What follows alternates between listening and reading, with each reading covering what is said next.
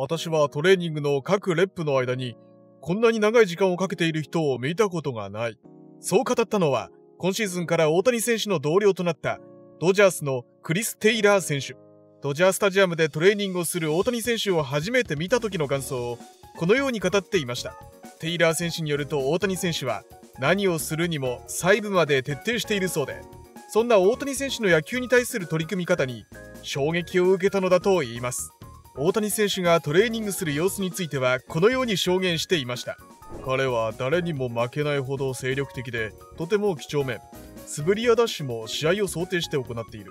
20スイングするのに20分かけることもある。試合の状況を想定してスイングし、大きく一息つくことがある。そしてテイラー選手は、そんな大谷選手の姿を見て合点がいったようで、このように語っていました。見るのはとても特別に感じる。だからこそ彼は、あれほどの選手になれたのだと思う。他にもドジャースのギャビン・ラックス内野手はアメリカポッドキャスト番組のファウル・テリトリーに出演した際に大谷選手との初対面時の様子をこのように明かしていました。握手したよ。通訳にもあったんだ。彼はでかいよね。横に立つと自分が子供みたいになっちゃうんだ。彼とプレーするのが楽しみだよ。ユニコーンだからね。身長だけで見ればラックス選手は188センチ大谷選手は193センチなのでそれほど差はありません。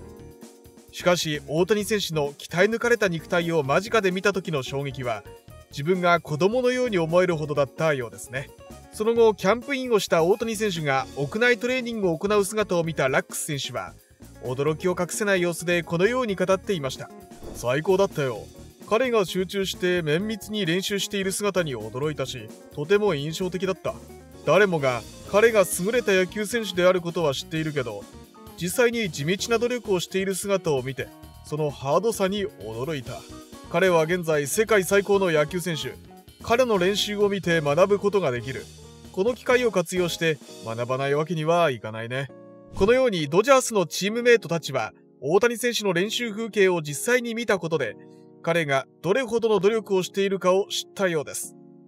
実は2018年に大谷選手がエンゼルスに入団した時も多くのメジャーリーガーたちが大谷選手に衝撃を受けていました。ということで今回の動画では大谷選手のプレーを初めて見た時のメジャーリーガーたちの反応をまとめて振り返っていきたいと思います。エンゼルスのチームメイトだけではなくライバルチームの選手たちの驚きのコメントも紹介していきますのでぜひ最後までお付き合いください。エンゼルス同僚のメジャーリーガーの反応。まずは2018年の大谷選手のデビュー以来、大谷選手を間近で見てきたエンゼルスのチームメイトたちのコメントから紹介していきたいと思います。この男は全てを持っている。スーパースター外野手マイク・トラウトが明かした大谷翔平の衝撃。一人目は言わずと知れた MLB のスター選手、マイク・トラウト選手です。トラウト選手は当初、二刀流について懐疑的だったそうで、アメリカ野球専門誌、ベースボールアメリカのインタビューでも、二刀流なんてありえないと思っていた、と明かしていました。しかし、2018年にアリゾナ州テンピで行われたスプリングトレーニングで、大谷選手のプレーを実際に見てからは、その考えが変わったのだと言います。トラウト選手は、初めて大谷選手の二刀流を目の当たりにした時の気持ちを、このように語っていました。彼が投げて打つのを見た時に、この男はここで成功するのに必要な全てを持っていると思った。100マイルを投げ、500フィートの本塁打を打てる。アンビリーバブルだった。スプリングトレーニング中の打撃練習では、420フィート、およそ128メートルも先にある、およそ10メートルのバックスクリーンを軽々と超える特大弾を連発していた大谷選手。地元紙のロサンゼルスタイムズは、大谷選手の打撃練習を見ていたトラウト選手の様子をこのようにレポートしていました。ほとんど催眠にかけられているのではないかという佇まいで、手を止めて凝視している。この表現からトラウト選手がどれほど大谷選手のプレーに衝撃を受けているかが伺えますよね。そして、大谷選手のメジャーデビューから3年後、トラウト選手は、スポーティングニュースのインタビューでこのように答えていました。僕は、大谷がエンゼルスに初めてやってきた時からずっと見ているけど、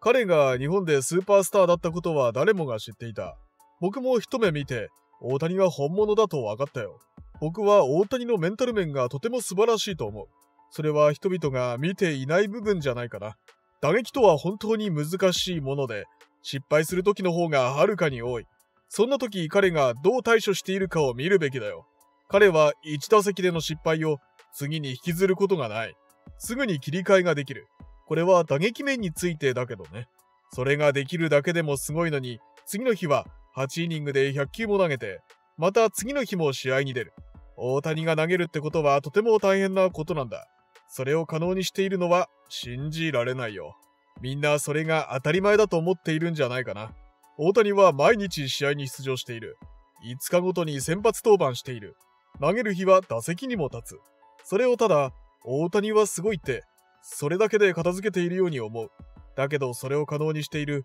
毎日の努力の積み重ねと精神力は本当に驚異的だよ。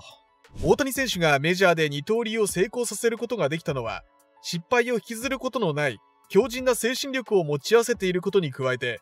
本人が凄まじい努力を重ねてきたから、失敗が重なってしまうとネガティブになりがちですが、大谷選手はその失敗すら成功への糧として次につなげています。トラウト選手ほどのスター選手にここまで言わしめる大谷選手の精神力には本当に脱帽ですね。大谷の才能は呆れるほど、アップトン、キンズラー、プホルスのスタートリオが見た衝撃の光景。当時エンゼルスで外野手を務めていたジャスティン・アップトン選手は、トラウト選手と同じくスプリングトレーニングで打撃練習をする大谷選手に衝撃を受けたのだと言います。アプトン選手はその時の様子についてこのように明かしていました。彼の才能はすごくて呆れるほどさ。彼を初めてスプリングトレーニングで見た時、彼の打撃練習であの音は尋常じゃなかった。また、投手大谷を初めて見たのは、現地時間2018年3月16日に行われたロッキーズ戦の試合中だったそうで、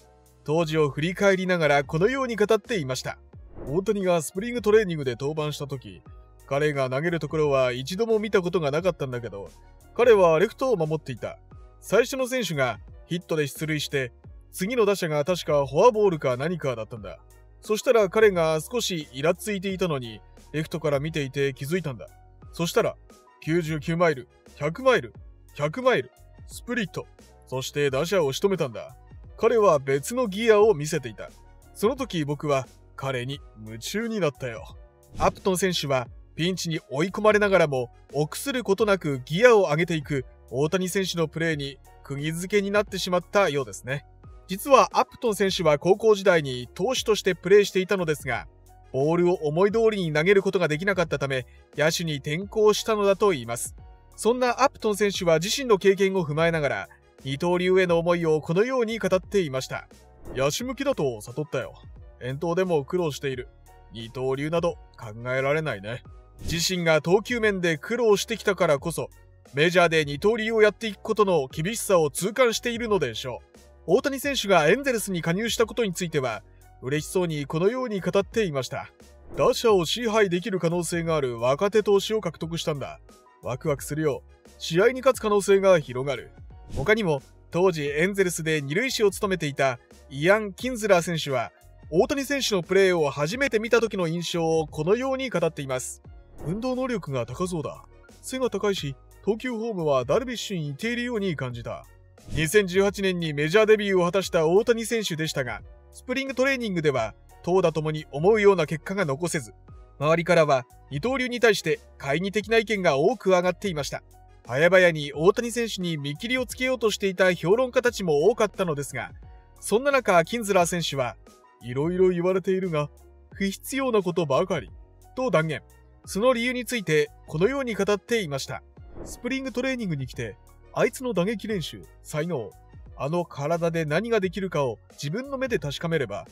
全く不勉強なコメントだってわかるはずさ。キンズラー選手は、大谷選手の野球への取り組み方を見ていたからこそ、否定的な意見を言う評論家たちが許せなかったのかもしれませんね。そして2018年4月3日にエンゼルスタジアムで行われたインディアンス戦で大谷選手がメジャー初本塁打となる1号スリーランを放った時のことでした。大谷選手がスタンドの大歓声に包まれながらダイヤモンドを一周してダグアウトに戻ると、興奮した様子の大谷選手とは裏腹に、チームメイトたちは無表情でフィールドを見つめています。チームメイトたちと喜びを分かち合おうと、両手でハイタッチのジェスチャーをした大谷選手でしたが、誰も反応してくれません。そこで我慢できなくなった大谷選手が、キンズラー選手に思いっきり抱きつくと、キンズラー選手はたまらず爆笑。キンズラー選手が大谷選手を抱きしめた瞬間、チームメイトは一斉に祝福モードになったのです。この一連の流れについてキンズラー選手は嬉しそうな様子でこのように語っていました。最高のサイレントトリートメントだったよ。でも長続きしなかったんだ。自分はとにかく下を向いていた。なるべく彼を見ないようにしていたんだよ。しかし彼があまりに興奮していてね。ハイファイブの準備万端だったんだよ。サイレントトリートメントとは、メジャーで行われる儀式のことで、記念の本塁打を放ったチームメイトを迎える際に、あえて無視、時間差で祝福するというものです。本来大谷選手はもっと放置されるはずだったそうなのですが、キンズラー選手は体格のいい大谷選手を押し返すことができず、思わず笑ってしまったのだと明かしていました。続いては当時エンゼルスの主将として活躍していたアルバート・プホルス選手です。プホルス選手は MLB における最高の打者の一人であり、大谷選手の打撃の師匠でもあります。そんなプホルス選手はスプリングトレーニング中に大谷選手の才能を疑っていた批評家たちに対して、世の中には天才批評家がたくさんいるから、と苦言を呈し、このように説明していました。スプリングトレーニングはスプリングトレーニングだ。5割打とうが10勝しようが関係ない。それでサイヤング賞や MVP や打撃タイトルをもらえるわけじゃない。メジャーデビューのために渡米したことで、大谷選手の環境は大きく変わりました。異国の地ということで母国語が通じないばかりか、スプリングトレーニングが行われたのは、球が操りにくいとされる乾燥地帯のアリゾナです。プォルス選手は、この環境でスプリングトレーニングを行うことの難しさを指摘し、全ては適用するプロセスだ、と断言していました。そして、プコルス選手の打撃フォームを参考にした大谷選手は、開幕戦が始まるまでのたった数日の間に打撃フォームを変更し、開幕戦で大活躍したのです。この大谷選手の活躍ぶりを受けて、プホルス選手は、今、天才批評家たちは何て言ってる？とジョークを交えながら苦言を呈していたといいます。後輩が自分の打撃フォームを参考にして活躍できたことを、プホルス選手も誇らしく思っていたことでしょう。彼は投手として成功しなくても大丈夫。バッテリー保守が語った1年目の大谷翔平。当時大谷選手の女房役を務めていたマーティン・マルドナード捕手が初めて打者大谷を見たのは、スプリングトレーニングでの打撃練習だったそうです。大谷選手があまりにも軽々と球を遠くへ打ち返していたため、マルドナード選手は大谷選手にこのような疑問をぶつけました。大谷、君はコルクバットを使っているのかい？そしてマルドナード選手は冗談交じりでバットをチェックするジェスチャーをしたのです。このコルクバット疑惑は当時大きな話題となりましたが、確かにあれだけ特大弾を連発されたら、そう考えてしまうのも無理はないのかもしれませんね。一方、マルドナード選手は、投手大谷に対しては、ある懸念点があったそうです。大谷選手は開幕前に先発した2試合では8つのアウトを奪うまでに9失点。メキシカンリーグの球団と対戦した非公式のエキシビジョンでも6失点と成績が振るいませんでした。さらに渡米直後の球速は90マイル前半しか出ていなかったため、マルドナード選手はその点を心配していたのだと言います。とはいえ、大谷選手の打撃練習を見ていたマルドナード選手は、当時このように思っていたと明かしていました。ボールがバットからポンポン飛んでいた。もし投手としてうまくいかなくても、彼はいつでもレフトや DH としてメジャーでプレーできる。マルドナード選手のそんな心配をよそに、大谷選手はその後も進化し続け、今や球界を代表するスター選手となりました。年々進化し続けていく元相棒について、マルドナード選手はこのように語っています。彼はこのリーグに慣れ、上手くなるためにやらなければならないことに慣れていた。毎年彼は学び続けてどんどん良くなっているように感じる。マルドナード選手は女房役として渡米直後から投手大谷を見てきたからこそ、誰よりもその成長ぶりに驚いているのかもしれませんね。しかし、スプリングトレーニングで思うような結果を残すことができないのは、大谷選手に限ったことではないのだと言います。経験豊富なマルドナード選手はこのように証言していました。僕はアリゾナでの春季キャンプには14回参加しているけれど、多くの選手がスプリットやカーブにトラブルを抱えることを知っているんだ。マルドナード選手は大谷選手が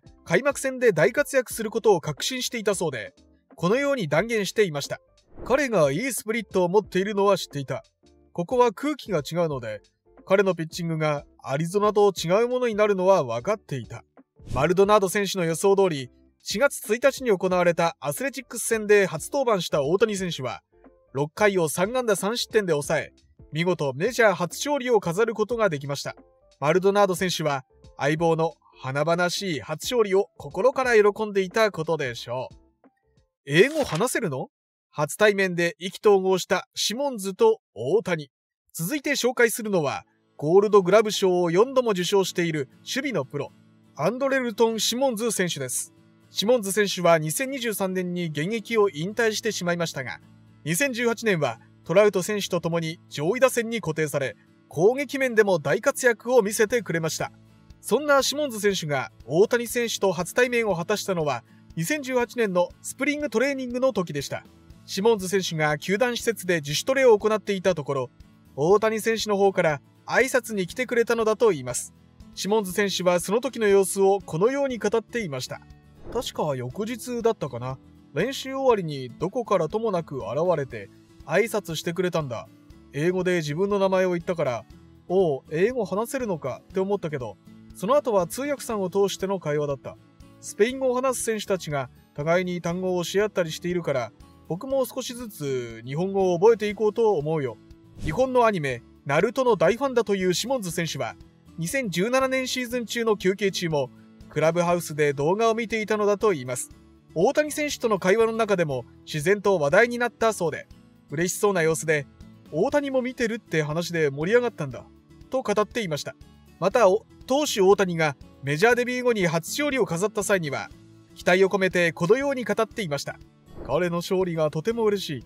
彼はいいスタートが切れたね。まだこの先は長いのだから、このまま緩めることなく、彼にはハングリーで居続けてほしい。しかし2ヶ月後の6月に、大谷選手の右肘の靭帯に損傷が見つかります。大谷選手は治療を続けながらも打者として出場していましたが、さらに3ヶ月後の9月にも右肘靭帯に新たな損傷が見つかったことを球団が発表しました。投手にとっては致命的な怪我ですが、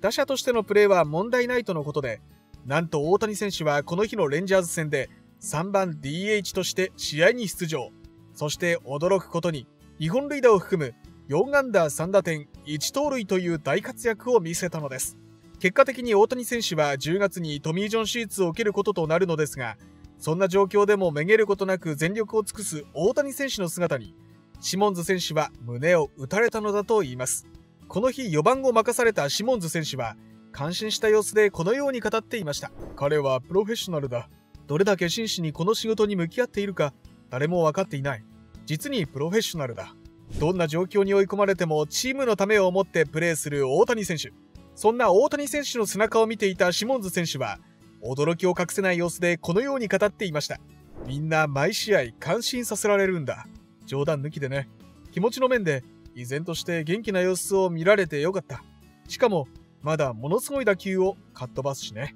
投げられないのなら打者として全力を尽くす。そんな大谷選手の熱い思いは一番近くで一緒にプレーをしているチームメイトたちの心にしっかり届いていたようですね。今日から君はショーウィーだ。1年目からすぐにチームに溶け込んだ大谷。エンゼルス時代は良き兄貴分としてトラウト選手らと共に大谷選手を支えていたコール・カルフーン外野手。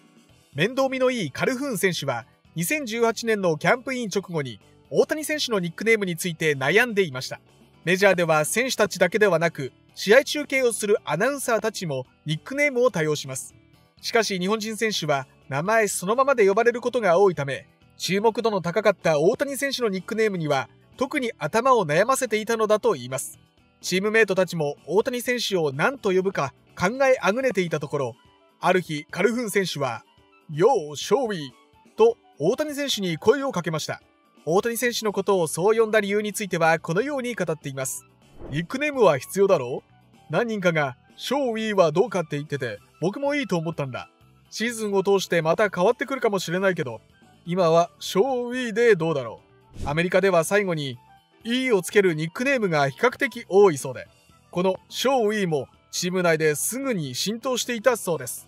チームメイトみんなでニックネームを考えていたなんて、とても微笑ましいですよね。また大谷選手のメジャー初本塁打記念のサイレントトリートメントについてはいたずらっぽく笑いながらこのように語っていましたあれは自分たちからのギフトだよ翔平はメジャーに来て初めて本塁打を打った。素晴らしい活躍で自分も心から嬉しかった。めでたいからメジャー流の贈り物なんだ。みんな喜んでもらえたかな？しかし大谷選手へのメジャーの洗礼はこれだけでは終わりませんでした。試合後に大谷選手がフィールド上で地元テレビ局のホックスポーツウエストの取材を受けていた時のことです。大谷選手の背後から猛ダッシュで近づいてきたカルフーン選手の両腕には、試合中に選手たちが水分補給をするためのパワーレードが入った巨大なタンクが抱えられていました。そしてカルフーン選手が大谷選手の頭上から思いっきりパワーレードシャワーを浴びせると、大谷選手は、くっそ冷た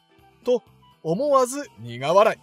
それを見たカルフーン選手は満足そうな笑みを浮かべていました。さらに大谷選手のこの日の活躍ぶりを目の当たりにしたカルフーン選手は誇らしげにこのように語っています。今日も素晴らしい活躍だった。素晴らしい投手からホームランを打った。翔平には究極的な才能がある。いいやつだ。最高のチームメイトだしね。ここまでの1週間、文句のつけようがないよ。パワーレードシャワーを自ら率先してやっていることからも、カルフン選手が大谷選手の活躍を心から喜んでいる様子が伝わってきますよね。仲間たちから盛大に祝福された大谷選手自身も、さぞかし嬉しかったことでしょう。彼はすごくいいやつだ。チームメイトたちから信頼を得た大谷の人間性。トラウト選手も語っていたように、エンゼルスのチームメイトたちは、大谷選手の野球への取り組み方だけではなく、その人間性に心を奪われているようです。ということで続いては大谷選手の人間性を絶賛する当時のチームメイトたちのコメントを一気に紹介していきたいと思います。ウワン・ギャレット・リチャーズ選手。いつも笑っているね。楽しい時間を過ごしていると思うよ。いつもポジティブで本当に多くの時間を野球に費やしている熱い男だ。ウワン・ジェシー・ラミレス選手。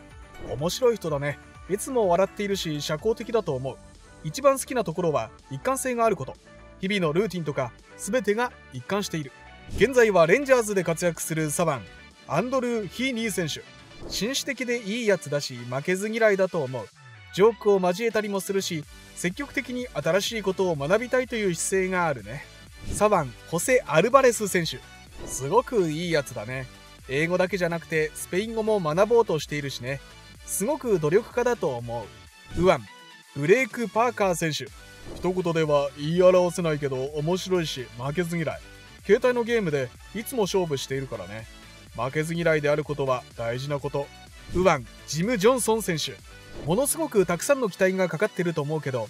彼はその期待を背負いすぎていない。心を均衡にバランスよく保てる。ウワンパーカー・ブリットウェル選手。すごく完成された分別のある人。まだ23歳だけど30歳の選手のようにすごく小さなこと細かいことにもこだわって集中してやっている。新日の保守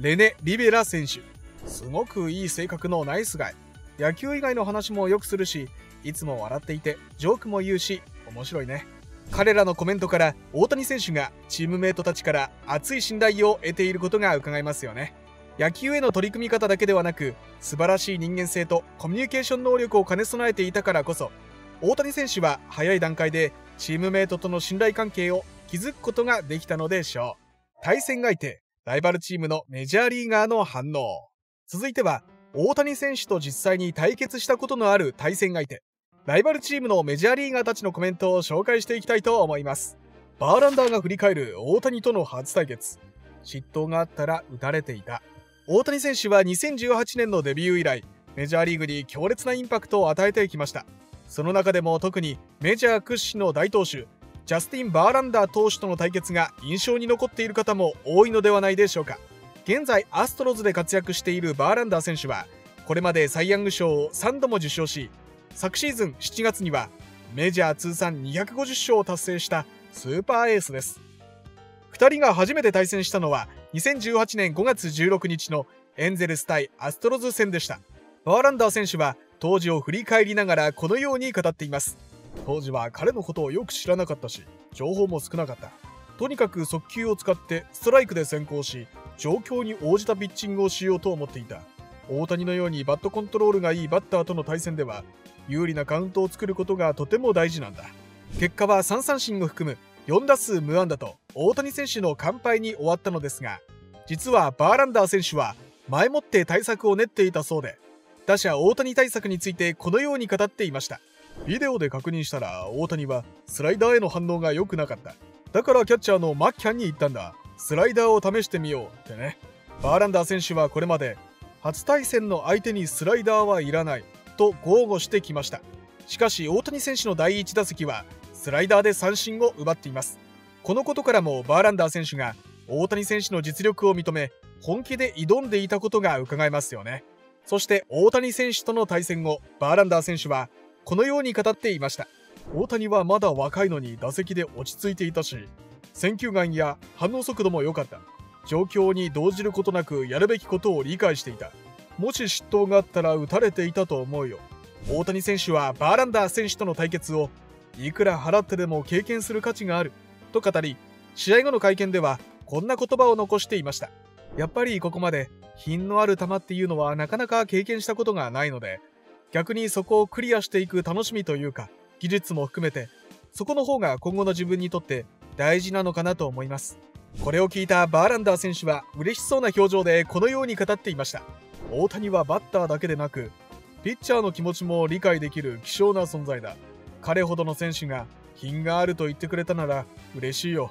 この日、バーランダー選手はメジャー史上33人目となる通算2500奪三振を達成したのですが、その相手というのが大谷選手でした。大谷選手の実力を目の当たりにしてすっかりファンになってしまったというバーランダー選手は誇らしげにこのように語っていました僕がおじいちゃんになって死ぬ間際には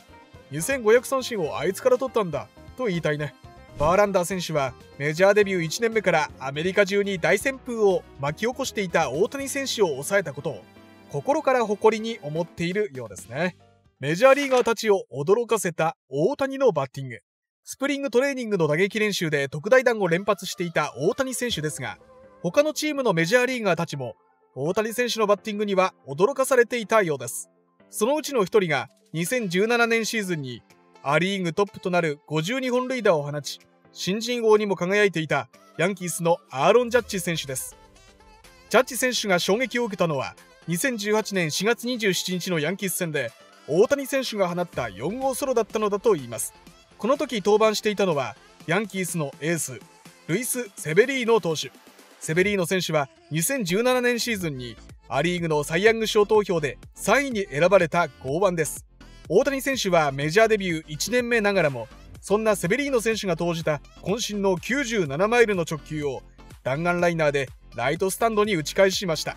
ジャッジ選手はこの強烈な本塁打を見て大谷選手の大ファンになったのだと言いますデビュー以来快進撃を続ける大谷選手について、ジャッジ選手は当時このように語っていました。今年の彼の活躍は印象的だよ。彼はあんなホームランを打った。今シーズン、これまでのピッチングとバッティングを見ていると楽しみなんだよ。さらにジャッジ選手は大谷選手を永遠のライバルに示し、このようなエールを送っています。大谷には可能な限り両方を続けてほしいと伝えたい。投打両面で特別なことができる選手。若いうちはぜひとも両方を続けてほしい。僕も自分が両方がこなせるような選手だったら、どんなに素晴らしいかと思う。そんな2人は2022年シーズンにア・リーグの MVP 争いを繰り広げることとなりました。最終的にはジャッジ選手が MVP を獲得しましたが、ジャッジ選手のコメントからは、当時から大谷選手をリスペクトしてきた様子が伝わってきますよね。2人目は当時アスレチックスで保守を務めていたジョナサン・ルクロイ選手です。ルクロイ選手が衝撃を受けたのは、3月29日に行われたアスレチックス戦で、大谷選手が放ったメジャー初安打なのだと言います。この日がメジャーデビュー初日だった大谷選手は、なんと2回に回ってきた初打席で、いきなり初球を捉え、見事ライト前へと打ち返しました。この記念すべき初安打を誰よりも近くで見ていたルクロイ選手は、保守目線で大谷選手を見た感想をこのように語っています。大きな選手だね。スイングも強いし、パワーもある。僕としてはそのパワーを見たくはないけどね。そして3人目は、当時ヤンキースで保守を務めていたゲイリー・サンチェス選手です。サンチェス選手もジャッジ選手同様、4月27日のヤンキース戦で大谷選手が放った強烈な4号ソロが印象に残っているのだといいます。サンチェス選手によると、セベリーノ投手は要求通りの球を投げていたそうで、このように証言していました。自信を持って要求し、意図した通りのコースに来た。インサイド高めの97マイルの球を素早いスイングで捉えてしまったのだから、彼を褒めるしかない。大谷選手は相手ピッチャーの嫉妬を捉えたのではなく、狙い通りに投げられた球を完璧に打ち返したというわけですね。そうなればもう相手側は完敗と言わざるを得ないでしょう。この試合が行われたのは、大谷選手がメジャーデビューを果たしてからわずか1ヶ月後でした。その時点で規格外のプレーを目の当たりにしたのですから、サンチェス選手が驚きを隠せないのも無理はありませんよね。信じられないの連発。二刀流に驚愕するメジャーリーガーたち。大谷選手はこれまで周りからどれだけ批判されようが、自分を信じて二刀流を続けてきました。そしてメジャーで二刀流なんてありえないという風潮を覆し、新たな道を切り開いてきたのです。今や多くの子供たちが二刀流としてメジャーリーガーになることを目指していることからも、大谷選手が野球界に与えた影響は計り知れませんよね。そしてそれが一番身に染みているのは、やはり現役のメジャーリーガーたちでしょう。ということで続いては、二刀流に衝撃を受けたメジャーリーガーたちのコメントを紹介していきたいと思います。1人目は現在ブレーブスで活躍しているマット・オルソン内野手です。オルソン選手は2021年までエンゼルスと同地区のアスレチックスに所属していたため、大谷選手と対戦経験がありました。そんなオルソン選手は大谷選手をこのように絶賛しています。同地区だったからよく対戦し、よく見ていた。まず彼が投打を同時にこなせるだけの肉体を備えていることが素晴らしい。特に投打二刀流に強い感銘を受けたというオルソン選手はこのように力説していました。投打両方をこなすことがいかに難しいか説明することができますか？私にもわからない。中5日で登板し、毎日打者で出場する。印象的だ。そしてこの時点でオルソン選手の通算対戦成績は13打数1安打、打率0割7分7厘、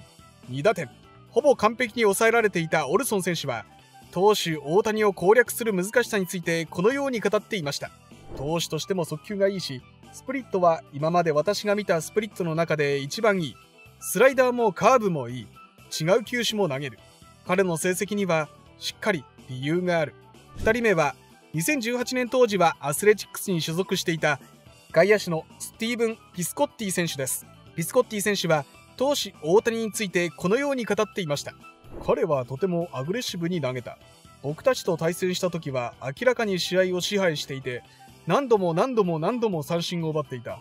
彼は衝撃的だった。シーズンを通してできればとても特別な存在になるだろう。2018年シーズンの大谷選手は対アスレチックス戦で投手として2戦2勝、防御率2.08、計13回で18奪三振をマークするという圧倒的な実力を発揮していたため、ピスコッティ選手が衝撃を受けたと語っているのも納得です。また打者大谷についてはこのように絶賛していました。外野手として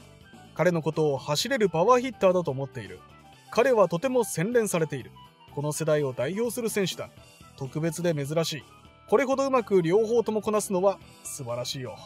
大谷選手は対アスレチックス戦で10試合に出場し、36打数10安打の打率2割7分8厘、1本塁打、6打点、1盗塁をマークしていました。実際に対戦したことで大谷選手の実力を目の当たりにしたピスコッティ選手がここまでベタ褒めにするのも無理はありませんよね。3人目は同じく2018年当時アスレチックスに所属していた内野手のジェド・ラウリー選手です。ラウリー選手は投手大谷についてこのように語っていました。見ていて楽しいよ。彼が登板していて自分が打席に立っていない時は特にね。彼の投球はカウントが有利になるとさらに圧倒的になる。そして打者大谷については力を込めてこのように語っていました。ルーキーで300打席くらいで20本塁打、22塁打を打った。10打席に1回長打を打つのはとてもいい打者だよ。彼がしていることはとても素晴らしい。この男は本物のスーパースターだ。ラウリー選手のコメントからは、まるで野球少年が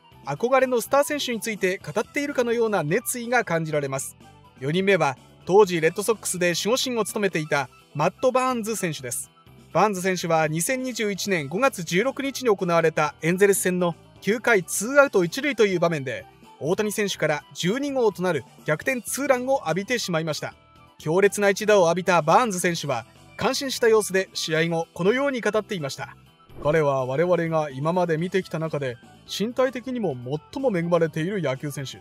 101マイルを投げられて600フィートを打てる選手をこれから見られるかどうかわからない。彼はスペシャルな選手だ。バーンズ選手は自身が投手としてプレーしているからこそ投打両方でレベルの高いプレーをしている大谷選手に脱帽していたのでしょう。5人目は2018年当時ツインズに所属していたローガン・モリソン内野手です。5月10日から本拠地で行われたツインズ4連戦で大谷選手は投打ともに圧倒的な活躍を見せていました。しかしその最終日に孤軍奮闘していたのが対戦相手だったモリソン選手だったのです。モリソン選手は大谷選手から2打数2安打を放ち最後の打席では9球目まで粘ってフォアボールをもぎ取り同点と降板の流れを作りました。結果エンゼルスの勝利となりましたがなんとか大谷選手に一矢報いることができたモリソン選手は試合後に大谷選手をこのように称賛していました。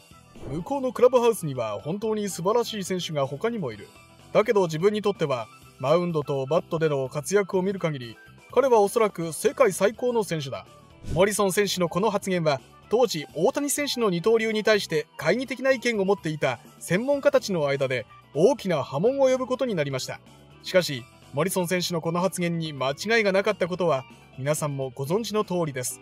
モリソン選手は大谷選手のデビュー当時からその実力を認めていたのですね。エンゼルス移籍したこの年、2018年は新人王を獲得。こうして2018年のメジャーデビュー以来、二刀流として圧倒的な活躍を見せた大谷選手は、見事2018年のア・リーグ新人王を獲得しました。異例の投打二刀流での活躍ということもあり、球団公式ツイッター、現 X は、大谷選手の写真とともに、このような祝福のメッセージを送りました。ショータイム、翔平大谷、ア・リーグ新人王受賞おめでとう。さらに日本語でも、大谷選手、アメリカンリーグ新人王受賞おめでとうございます。と祝福のメッセージが添えられており、ファンからはこのようなコメントが寄せられていました。来年はホームラン41本打つと言っておこうかな。ショータイム、受賞に値しているね。おめでとう翔平。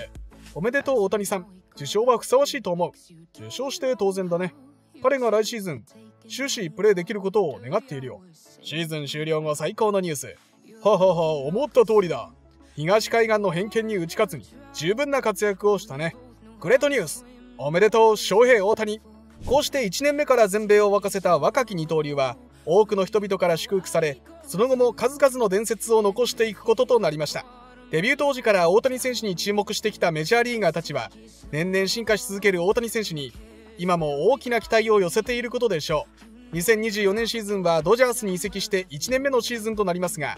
大谷選手のさらなる活躍に期待したいですね。さていかがだったでしょうか。今回は大谷選手のプレーに衝撃を受けたメジャーリーガーたちの反応について紹介しました。2018年のスプリングトレーニングではあまり調子が良くなかった大谷選手でしたがチームメイトたちはその時点で彼の実力を認めメジャーでの成功を確信していました。彼らがそう思えたのは大谷選手が裏でどれほどの努力を重ねてきたのかを間近で見てきたからに他なりません。当初は二刀流に対して懐疑的な意見も多くありましたが、大谷選手自身が二刀流での挑戦を諦めることはありませんでした。それに加えてチームメイトたちが批判的な意見を一周してくれたことも、大谷選手にとっては心強かったことでしょう。もちろん大谷選手をデビュー当時からリスペクトしていたのはチームメイトだけではありません。実際に投手大谷、打者大谷と対戦したライバルチームの選手たちもまた、大谷選手の凄さに舌を巻いていたのです。そんな大谷選手は、2023年シーズン限りで、